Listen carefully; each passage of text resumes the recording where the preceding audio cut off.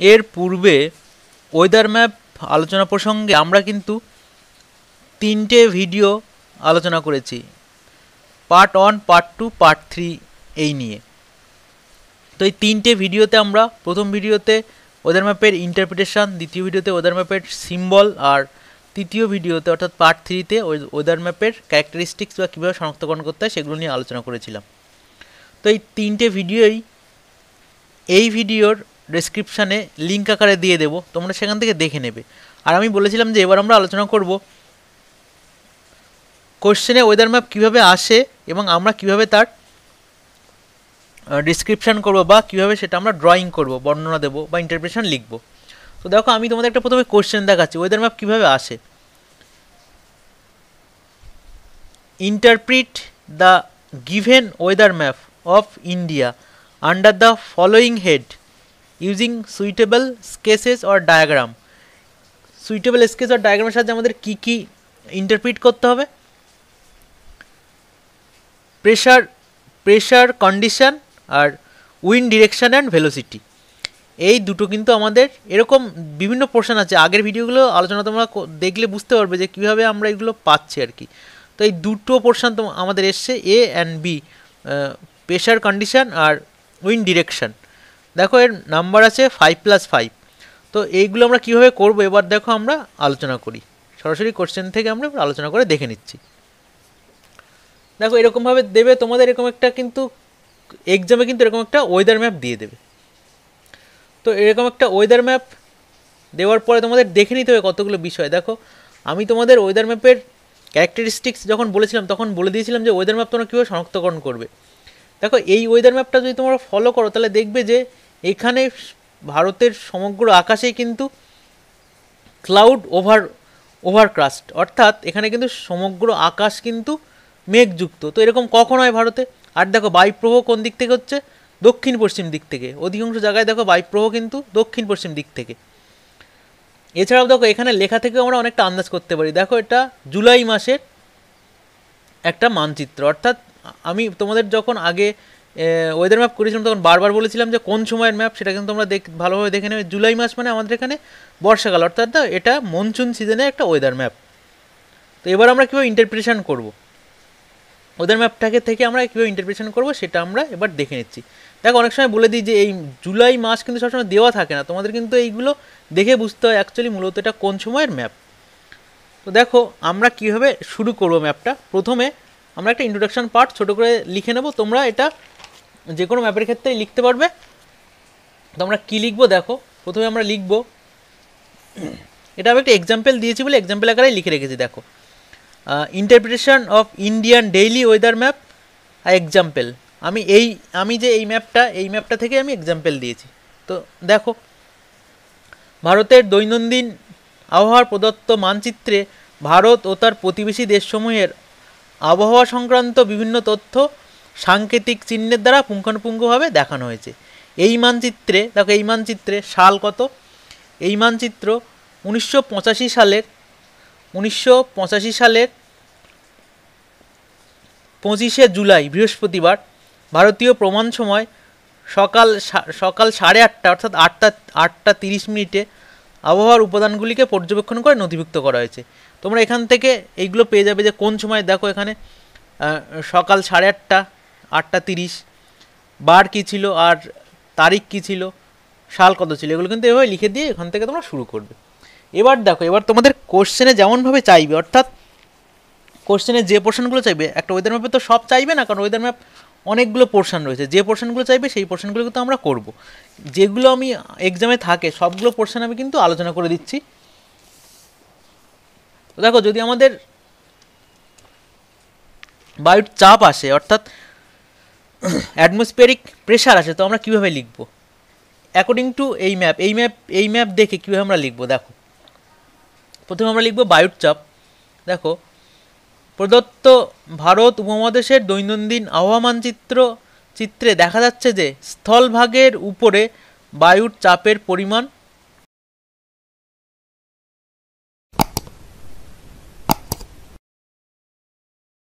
কম এবং দক্ষিণে জলভাগের উপরে এবং দক্ষিণে জলভাগের দিকে ক্রমশ বৃদ্ধি পাচ্ছে। দেখো কি করে বুঝলাম? বায়ুর চাপ আমরা যখন করেছিলাম তখন তোমাদের বলেছিলাম কী দিয়ে বোঝায়? এল অর্থাৎ লো প্রেশার বেল্ট আর এইচ অর্থাৎ হাই প্রেশার বেল্ট দেখো, জলভাগের উপরে তাহলে কি? হাই প্রেশার বেল্ট দেখতে পাচ্ছি, এটা অ্যারাবিয়ান সি জলভাগের উপরে আমরা হাই প্রেশার বেল্ট দেখতে পাচ্ছি। লো প্রেশার বেল্ট দেখতে পাচ্ছি কোথায়? পাকিস্তানের উপরে বা ভারতের উত্তর উত্তর পশ্চিম ভারত সংলগ্ন স্থানে কিন্তু আমরা দেখতে পাচ্ছি কি? লো প্রেশার বেল্ট তো সেই অনুযায়ী আমাদের এখানে লেখা হয়েছে, দেখো, স্থলভাগে সর্বনিম্ন বায়ুর চাপ হলো নশো আটানব্বই মিলিবার দেখো, স্থলভাগে, দেখো এখানে স্থলভাগে সর্বনিম্ন বায়ুর চাপ কি? নশো আটানব্বই মিলিবার ক্রমশ দেখো এদিকে বাড়ছে, হাজার হাজার দুই, হাজার চার, কিন্তু এভাবে ক্রমশ বাড়ছে। আর এবার দেখো, জলভাগের উপরে জলভাগের উপরে দেখো এবার এবং দক্ষিণে সমুদ্রের উপরে, তা বেড়ে হয়েছে কত দেখো? জলভাগের উপরে বেড়ে হয়েছে হাজার বারো মিলিবার। দেখো সব থেকে বেশি এখানে হাই প্রেশার বেল্ট এই হাই প্রেশার বেল্ট হাজার বারো মিলিবার। তাহলে আমরা দেখে নিলাম, এবার দেখো, উপমহাদেশের, তাহলে উপমহাদেশের ওই দিন মানে যেদিন এই, যেদিনের এই ওয়েদার ম্যাপটা ওই দিনের তাহলে বায়ুচাপের পার্থক্য কত? হাজার বারো মিলিবার মাইনাস নশো আটানব্বই মিলিবার। অর্থাৎ উচ্চচাপ ও নিম্নচাপের মধ্যে পার্থক্য কত? চোদ্দ মিলিবার। স্থলভাগের ও জলভাগের যথাক্রমে, স্থলভাগ ও জলভাগে যথাক্রমে সৃষ্টি হয়েছে কি? নিম্নচাপ ও উচ্চচাপ ক্ষেত্র। অর্থাৎ স্থলভাগের উপরে কিন্তু নিম্নচাপ ক্ষেত্র আর জলভাগের উপরে কিন্তু উচ্চচাপ ক্ষেত্রের সৃষ্টি হয়েছে। এগুলোর অবস্থান ও প্রকৃতি সম্পর্কে আমরা আলোচনা করব। এই যে নিম্নচাপ আর এই উচ্চচাপ, এগুলোর প্রকৃতি সম্পর্কে আমরা আমরা এবার আলোচনা করব। তোমাদের এক্সামে আসলে কিন্তু তোমরা ঠিক এইভাবেই লিখবে। এরপর তোমাদের ডায়াগ্রামেও দেখাতে হবে, আমি তোমাদের দেখিয়ে দিচ্ছি ডায়াগ্রামেও কীভাবে দেখাবে, পুরোটা ডিটেলস তোমাদের দেখিয়ে দিচ্ছি। তো দেখো, আমরা এভাবে লিখব, নিম্নচাপের অবস্থান, প্রদত্ত মানচিত্রে ভারতের উত্তর পশ্চিম অংশ জুড়ে, দেখো, প্রদত্ত মানচিত্রে, কি বলছে?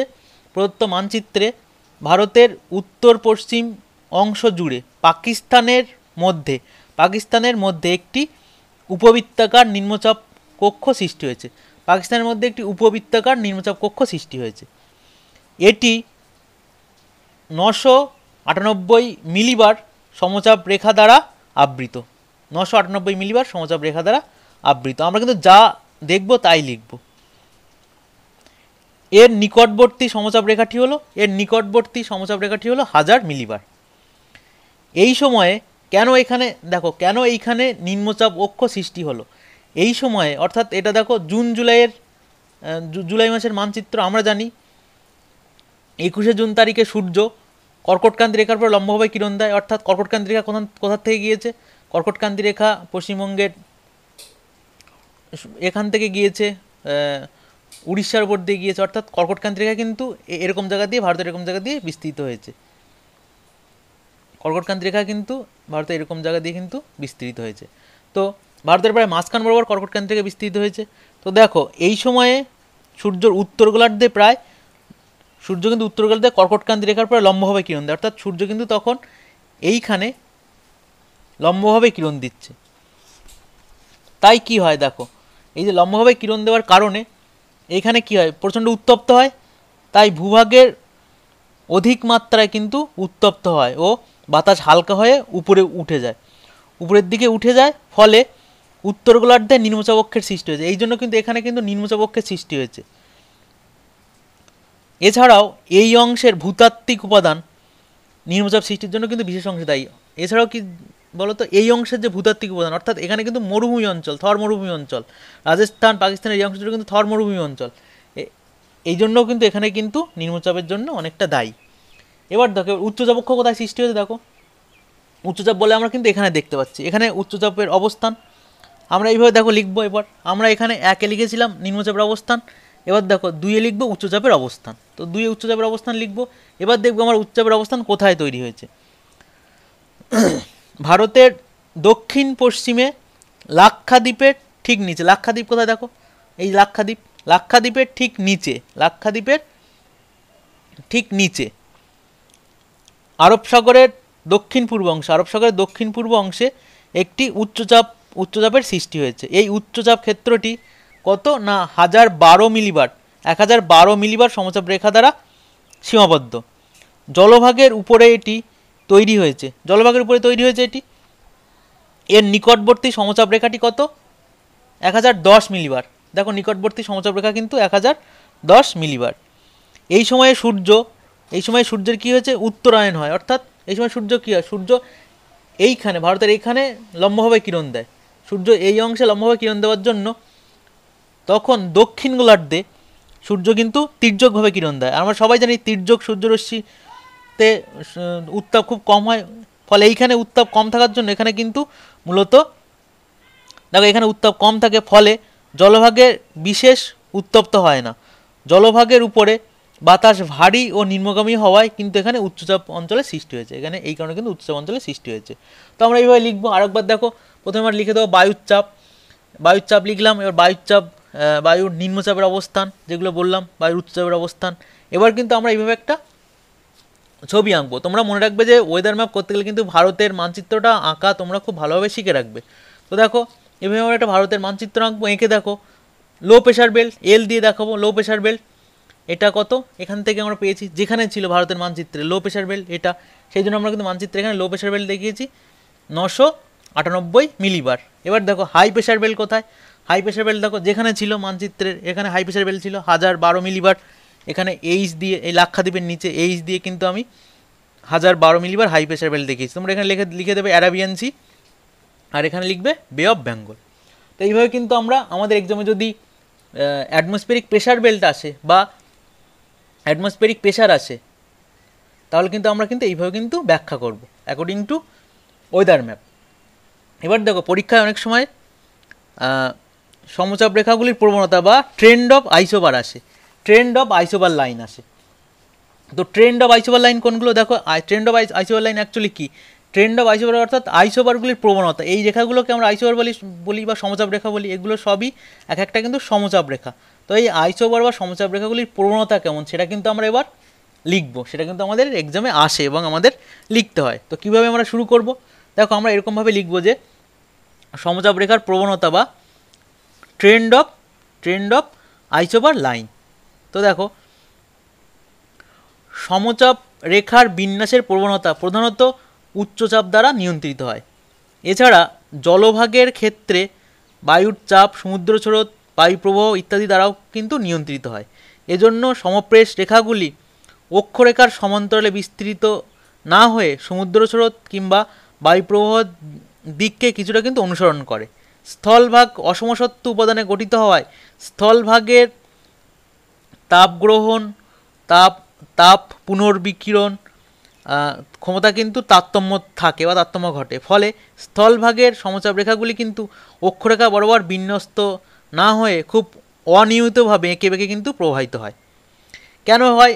এই যে আইসোবারগুলোর ক্ষেত্রে আমরা যেটা এতক্ষণ বললাম যে আইসোবারগুলো কিন্তু জলভাগের উপরে অনেকটা সমান্তরালে গেলেও স্থলভাগের উপরে কিন্তু সমান্তরালে যায় না। কারণ কি? স্থলভাগের বিভিন্ন স্থানে বিভিন্ন রকম তাপমাত্রা থাকে। এই জন্য স্থলভাগের উপর কিন্তু অনেকটা এঁকে মেঁকে প্রবাহিত হয়। এবার আমরা যদি দেখি, এটা আমরা, এই ইন্টারপ্রিটেশনটা আমরা এরকম টাইপের যে কোনো ম্যাপের ক্ষেত্রে লিখতে পারি। এবার কিন্তু আমরা এই ম্যাপটা দেখে লিখব, অর্থাৎ এই ম্যাপটা দেখে এর পরের অংশটা লিখব। দেখো, প্রদত্ত মানচিত্রে জলভাগ ও স্থলভাগের উপর সমচাপ রেখাগুলির বিন্যাসের বিশেষ বৈচিত্র্য লক্ষ্য করা যাচ্ছে। এই মানচিত্রে জলভাগ স্থলভাগের উপরে সমচাপ রেখাগুলির বিন্যাসের কিন্তু বিশেষ বৈচিত্র্য কিন্তু আমরা কিন্তু লক্ষ্য করতে পারছি। তো কী বৈচিত্র্য সেটা আমরা দেখে নিই আরব সাগরের উপরে সমচাপ রেখাগুলি দেখো, আরব সাগরের উপরে সমচাপ রেখাগুলি সমান্তরাল। দেখো তোমরা একটু খেয়াল করবে, আরব সাগরের উপরে আমরা যদি এরকমভাবে দেখি, আরব সাগরের উপরে কিন্তু সমচাপ রেখাগুলি কিন্তু প্রায় সমান্তরাল। এখানে অন্তত দেখো আমরা তাই এবার যদি দেখি আমরা, তাহলে ভালোভাবে বুঝতে পারব। আরব সাগরের উপরে সমচাপ রেখাগুলি কিন্তু প্রায় সমান্তরাল, বা এরা কিন্তু সমান্তরাল অক্ষরেখা বরাবর পশ্চিম থেকে পূর্ব দিকে অবস্থান করছে। অর্থাৎ পশ্চিম থেকে কিন্তু পূর্ব দিকে পূর্ব দিকে কিন্তু ভারতীয় উপকূল রেখা বরাবর কিন্তু বিস্তৃত বা অবস্থান করছে। ভারতীয় উপদ্বীপীয় অংশে, উপদ্বীপীয় অংশ অর্থাৎ কোনটা? এই যে অংশ, উপদ্বীপীয় অংশ, দ্বীপের মতো। দুদিকে জল, এক, দুদিকে জল। তো এই এই অংশে, উপদ্বীপীয় অংশে, ভারতীয় উপদ্বীপীয় অংশে সমচাপ রেখাগুলির উত্তর পশ্চিম দিক থেকে, উত্তর পশ্চিম দিক থেকে দক্ষিণ পূর্ব দিকে কিন্তু প্রবাহিত হচ্ছে। উত্তর পশ্চিম, দেখো, এখানে তোমরা খেয়াল করলে বুঝতে পারবে। উত্তর পশ্চিম দিক থেকে, উত্তর পশ্চিম দিক থেকে কিন্তু দক্ষিণ পূর্ব দিকে, কিন্তু কিছুটা দক্ষিণ পূর্ব দিকে, এই যে দক্ষিণ পূর্ব দিকে, উত্তর পশ্চিম দিক থেকে দক্ষিণ পূর্ব দিকে প্রবাহিত হচ্ছে উপদ্বীপীয় অংশে। বঙ্গোপসাগরের উপরে যদি সমচাপ রেখাগুলি যদি দেখি, বা যদি বঙ্গোপসাগরের উপরে বঙ্গোপসাগরের উপরে সমচাপ রেখাগুলি যদি দেখি, তাহলে বঙ্গোপসাগরের সমচাপ রেখাগুলি দক্ষিণ থেকে উত্তর পূর্ব দিকে। দেখো দক্ষিণ দিক থেকে এগুলো, দক্ষিণ দিক থেকে উত্তর পূর্ব দিকে। এই যে উত্তর পূর্ব দিকে, দক্ষিণ থেকে উত্তর পূর্ব দিকে, এদিকে কিন্তু প্রবাহিত হচ্ছে সমচাপ রেখাগুলি। সমচাপ রেখাগুলি, এবার যদি দেখি আমরা বঙ্গোপসাগরের উপর সমচাপ রেখা দেখলাম, সমচাপ রেখাগুলি মধ্যপ্রদেশ, উড়িষ্যা, ঝাড়খণ্ড। দেখো সমচাপ রেখাগুলি মধ্যপ্রদেশ, উড়িষ্যা উড়িষ্যা, ঝাড়খণ্ড প্রভৃতি রাজ্যের উপর দিয়ে উত্তর পশ্চিম থেকে দক্ষিণ পূর্ব দিকে, উত্তর পশ্চিম থেকে উত্তর পশ্চিম থেকে কিন্তু, অর্থাৎ এই উত্তর পশ্চিম থেকে কিন্তু দক্ষিণ পূর্ব দিকে প্রবাহিত হয়েছে। দক্ষিণ পূর্ব দিকে কিন্তু এভাবে প্রবাহিত হয়েছে। সমচাপ রেখাগুলি পর্যবেক্ষণ করলে দুটি ট্রাপ পরিষ্কারভাবে চোখে পড়ে। দেখো, ট্রাপ, মৌসুমীবাবু ট্রাপ বলে দিই। অনেক সময় বলে যে মনসুন ট্রাপ। ট্রাপ অর্থাৎ কি? যেখানে সমচাপ রেখাগুলি খুব বাঁক নিয়েছে। দেখো, আমরা এখান থেকে যদি দেখি, এখানে সমচাপ রেখা, এখানে যে খুব বাঁক নিয়েছে, এখানে বাঁক নিয়েছে, সমচাপ রেখা তো এখানে খুব বাঁক নিয়েছে, সমচাপ রেখা এখানে বাঁক নিয়েছে, আবার কি? এখানে বাঁক নিয়েছে। ঠিক যেমন এখানে বাঁক নিয়েছে, এই বাঁক এই বাঁক এই বাঁক, আর এই বাঁকগুলোকে যদি যোগ করি, তাহলে এরকম একটা অংশ পাবো। আবার দেখো সমচাপ কিন্তু এখানেও বাঁক নিয়েছে। এই একটা বাঁক নিয়েছে এই একটা বাঁক, এই বাঁক এই বাঁক। এই বাঁকগুলোকে যদি আবার যোগ করি, কিন্তু আরেকটা ট্রাপ পাবো। মৌসুমি ট্রাপ হলো কি, আমরা অনেক সময় শুনি যে নিম্নচাপ সৃষ্টি হয়েছে। মৌসুমি বায়ু বা এই সমচাপ রেখাগুলি হঠাৎ যদি খুব এরকম বক্রতা মানে বক্রভাবে প্রবাহিত হয়, বক্রভাবে প্রবাহিত হওয়ার কারণে দীর্ঘস্থায়ী হয় এখানে সমচাপ রেখাগুলি, ফলে এখানে কিন্তু দীর্ঘক্ষণ বৃষ্টিপাতের সম্ভাবনা থাকে। এগুলোকে কিন্তু বলা হয় মৌসুমি বায়ুর ট্রাপ বা ট্রাপ অফ মনসুন বলা হয়। তো দেখো, এই মানচিত্রে কিন্তু দুটো ট্রাপ তৈরি হয়েছে। কোথায় কোথায় ট্রাপ তৈরি হয়েছে? একটি ট্রাপ কিন্তু পাঞ্জাব থেকে পশ্চিমবঙ্গ পর্যন্ত বিস্তৃত। তোমরা যদি একটা ট্রাপ দেখো এখানে, তাই এখান থেকে এই এগুলোকে যদি যোগ করে, একটা ট্রাপ এখান থেকে পাঞ্জাব থেকে, এখান থেকে পাঞ্জাব থেকে এই এই ট্রাপ এখানে, এইভাবে কিন্তু পশ্চিমবঙ্গ পর্যন্ত বিস্তৃত। অপর একটা ট্রাপ যদি আমরা দেখি, অপর একটা ট্রাপ এই বক্রতাগুলোকে যদি যোগ করি, তাহলে এখানে মধ্যপ্রদেশ থেকে মধ্যপ্রদেশ থেকে কিন্তু অন্ধ্রপ্রদেশ পর্যন্ত বিস্তৃত। মধ্যপ্রদেশ থেকে অন্ধ্রপ্রদেশ পর্যন্ত কিন্তু বিস্তৃত। এটাও কিন্তু তোমাদের এক্সাম এইভাবে পিকচার এঁকে বা তো এক্সামে তোমাদের ডায়াগ্রাম এঁকে, ছবি এঁকে তোমাদের দেখাতে হবে। তো দেখো, আমি এখানে আলাদা কিছুই করিনি। একটা ওয়েস্ট, একটা ভারতের একটা মানচিত্র এঁকেছি। সুন্দর করে তোমরা ভারতের মানচিত্র আঁকবে, এঁকে এই সমচাপ রেখাগুলি তোমাদের এই মানচিত্রে, অর্থাৎ যে ম্যাপ তোমাদের যে ওয়েদার ম্যাপটা করতে দেবে, সেখানে যেমনভাবে আছে, ঠিক তেমনভাবে দেখাবে। দেখো ওয়েদার ম্যাপগুলো এখানে কিন্তু তোমরা প্রেডিকশান করে তোমাদের যে অ্যাকুরেট আঁকতে হবে তা না অনেকটা চোখের আন্দাজে বা আই প্রেডিকশানে তোমরা কিন্তু এঁকে দেবে। তো দেখো, এখানে এখানে নিম্নচাপ ছিল, আমি এখানে নিম্নচাপ দেখিয়েছি, তারপরে তারপরে দেখো, এখানে হাজার মিলিবার ছিল, তারপরে হাজার দুই মিলিবার হাজার চার মিলিবার ঠিক কিন্তু আমি সমচাপ রেখাগুলো সেইভাবেই দেখিয়েছি। তো সমচাপ রেখাগুলো এইভাবে দেখালাম। সব সমস্যা সমচাপ রেখাগুলো যেমনভাবে ছিল, এই ম্যাপে সমচাপ রেখাগুলো যেমনভাবে থাকবে বা আইসোবারগুলো যেমনভাবে থাকবে, এখানেও কিন্তু তোমরা আইসোবারগুলো চোখের আন্দাজে তেমনভাবে কিন্তু তোমরা তোলার চেষ্টা করবে। তুলে তোমরা সব মানগুলো লিখে দেবে, অর্থাৎ কোন আইসোবারের মান কত, তোমরা লিখে দিলে, লিখে দেওয়ার পরে দেখো ট্র্যাপটা আমি বলেছিলাম কি অন্ধ্রপ্রদেশ থেকে দেখো, এই যে, এই বক্র অংশগুলো যেখানে খুব বাঁক নিয়েছে, এই অংশ এই অংশ এই অংশ এই অংশ যোগ করলাম, আর এদিকে দেখো, এই এই বাঁক, এই অংশ এই অংশ যোগ করলাম, অর্থাৎ এটা পাঞ্জাব থেকে পশ্চিমবঙ্গ পর্যন্ত, এদিকে এই মধ্যপ্রদেশ থেকে এটা কিন্তু অন্ধ্রপ্রদেশ পর্যন্ত এই ট্র্যাপটা তৈরি হয়েছে। আর আমরা এখানে উপরে লিখে দেবো, ট্রেন্ড অফ আইসোবার কিন্তু, এখানে কিন্তু উপরে লিখে দেবো আমরা কি? ট্রেন্ড অফ আইসোবার, এইভাবে কিন্তু আমরা কাজটা করব। তো আমরা আজকে ওয়েদার ম্যাপের দুটো কাজ করলাম, দুটো পোর্শন অর্থাৎ আমাদের এক্সামে যদি আসে, তাহলে আমাদের দুটো করেই আসে। দেখো আমি তোমাদের কোশ্চেন দেখিয়েছিলাম, আমি আমি আরেকবার কোশ্চেনটা দেখানোর চেষ্টা করছি। তোমাদের কোশ্চেন আমি দেখিয়েছিলাম। এখানে দেখো কী এসেছিল? প্রেশার কন্ডিশান অর্থাৎ লো প্রেশার হাই প্রেশার কোথায়? আর একটা এসছে উইন্ড ডিরেকশন তো এরকম আমি তোমাদের আজ দেখিয়েছি প্রেশার কন্ডিশান আর ট্রেন্ড অফ আইসোবার তো এরকমভাবে আমরা পরপর সবগুলো পোর্শনই দেখিয়ে দেবো এক্সামে যেগুলো আসে। আজ আজ এই পর্যন্ত আমি তোমাদের ওয়েদার ম্যাপটার যেগুলো পরীক্ষাতে বা এক্সামে যেভাবে আছে সেইভাবে করানোর চেষ্টা করব। তোমরা চ্যানেলে চোখ রেখো। আর যদি কোথাও বুঝতে অসুবিধা হয় আমাকে অবশ্যই কমেন্ট করে জানিও।